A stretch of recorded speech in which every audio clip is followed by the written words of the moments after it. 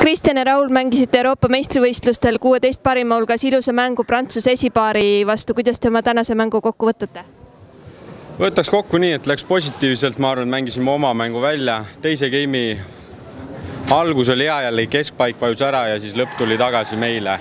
et nagu ikka, meil on probleemiks siis alguses suudame kannul olla enam-vähem punkt punktis, aga siis mingi hetk käib vahe ära ja siis me enam järgi ei saa game'is no ja ma arvan, et äh, selliste mängude kogemust on natuke vähe, et, et noh, meil siin aastas niimoodi kaks, kaks-kolm mängu nagu maksimaalselt saame, et see aasta on niigi väga hästi läinud, et et tegelikult iga kord oleme nagu oma taseme välja mänginud, aga aga tasavägisel seisul on nagu, me ei suuda nagu terve game nagu nendega kannul püsida, korra tuleb kaks-kolm punkti, tuleb nagu, tuleb nagu nõrkus ette sisse ja siis ongi läinud, põhimõtteliselt ongi nii. Prantsuse publik elas tugevalt enda omadele kaasa, mis tunded see teis tekitas?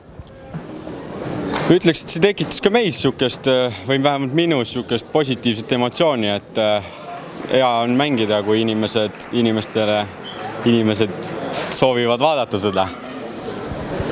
see on teie esimene Euroopa meistrivõistluste individuaalturniir, et mis mulje teile see võistlus tervikuna on jätnud?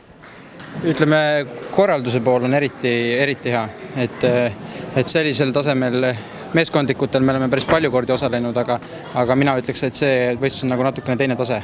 et, et kuidagi nagu tundub nagu tähtsam ja korraldus tundub ka nagu natukene parem. ja, ja no see melu muidugi, mis siin Prantsusmaal on, et, et seda mujal Euroopas ma kuskil näinud ei ole varem. saite kokkuvõttes üheksa kuni kuusteist koha oma EM-debüüdil, et mis mõtteid teil tekitab see tulevikuplaanide osas?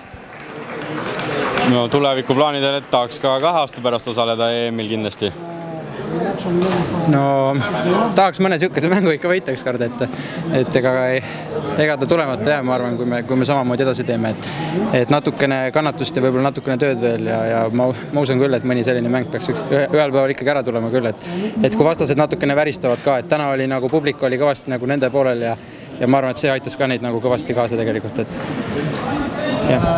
aitäh ja edu!